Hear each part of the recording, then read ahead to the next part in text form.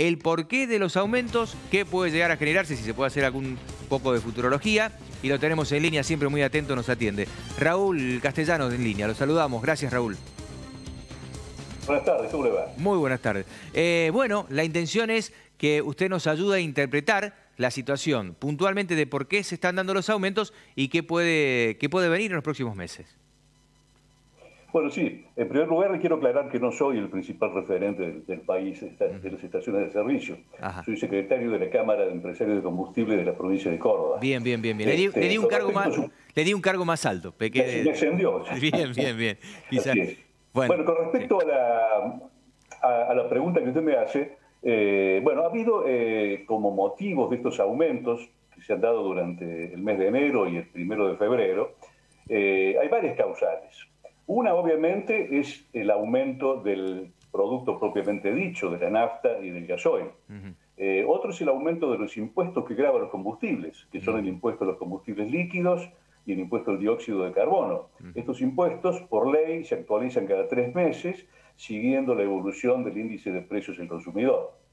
Y el tercer factor fue el aumento que se dio en los biocombustibles. Usted sabe que tanto la nafta como el gasoil deben adicionarse con bioetanol y biodiesel respectivamente. Los precios de estos biocombustibles son fijados por el gobierno, son precios regulares, eh, regulados, perdón, y, bueno, han aumentado también, originando uno de los aumentos que, que, se ha dado. En definitiva, lo que hubo fue, hasta la fecha, un poco más del 10% de aumento entre lo que ocurrió en enero y lo poco que pasó en febrero. Ajá. Bien, eh, yo estaba mirando los números del 2020, que si nos retrotraemos a cinco años para atrás, el 2020 fue el de, menor aumento y también esto atado a la, situación de la, baja en la venta que sufrieron ustedes por la pandemia y el poco movimiento que se generó en los primeros meses del año, ¿no? Ahí lo perdimos a Castellano. Ahí lo vamos a recuperar. Bueno, decíamos, el 2020 estuvo en el orden del 20% el aumento, por eso ahora, este, por ahí, bien como, como marcaba Castellano, la realidad que se genera también con los impuestos, no solamente con la situación inflacionaria, conlleva a lo que vivimos hoy, ¿no? Que la gente se está sorprendiendo porque los aumentos proporcionalmente en tan solo un mes del año es importante porque pasaron el 7,9%. De todas maneras, si nos retrotraemos no muy lejos, al 2018, eh, estamos hablando de que el aumento llegó al 70% en el año. 70% en el año. Nadie quiere que aumente el combustible, más allá de que tengas o no tengas un coche.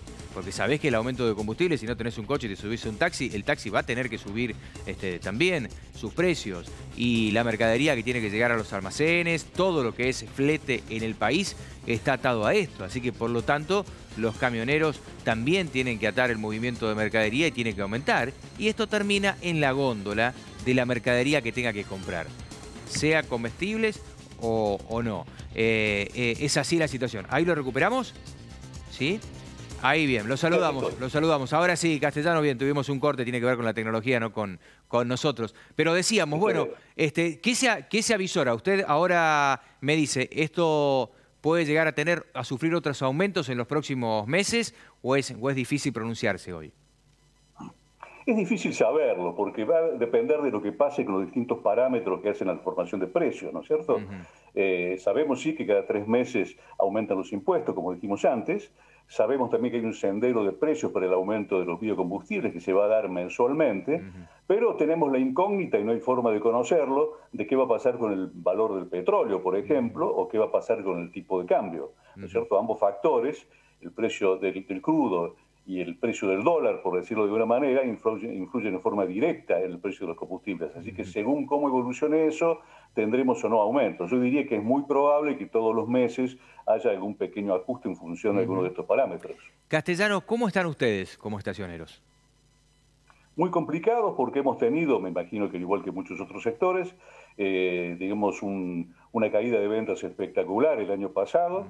El año pasado llegamos a tener en el mes de abril, por ejemplo, una caída de un 70% aproximadamente las ventas, que fue totalmente catastrófico, y hemos terminado el año con, una, eh, con un saldo final muy grande de baja con respecto al mismo año anterior, que ha complicado mucho económicamente las estaciones de servicio.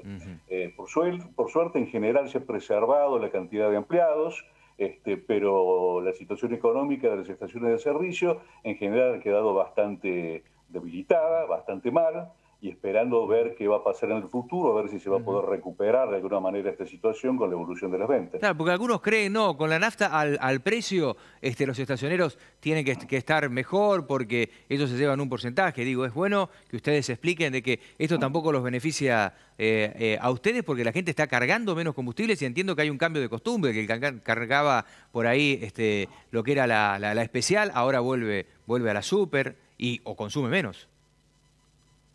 Sí, en realidad eh, el aumento de los combustibles tiene mucha prensa, ¿no es cierto? Por ejemplo, el año pasado los combustibles subieron durante todo el año el 25,1%. La inflación fue del 36,1%. O sea que en realidad los combustibles subieron 11 puntos menos que el resto de los bienes y servicios, ¿no es cierto? este, De manera que no ha habido en ese sentido un beneficio eh, en materia de precio para las estaciones de servicio. Este año llevamos un acumulativo del 11 y fracción, que si bien es cierto que, es un porcentaje de cierta importancia, bueno, tengamos en cuenta que en enero la inflación se calcula que estuvo más o menos en un 4%. Todos estos factores, que básicamente la inflación, el crecimiento del índice inflacionario, este, repercute directamente, en primer lugar, porque luego hay incrementos salariales para los empleados de nuestras estaciones de servicio que siguen eh, aproximadamente la variación de, del precio del resto de los productos y el resto de los costos que sean el funcionamiento de la misma. Así que en realidad no es tan así de que las estaciones de servicio se hayan visto beneficiadas con los incrementos de precio. Raúl, como siempre, muy atento, muy claro a la hora de explicarlo. Muchas gracias por atendernos.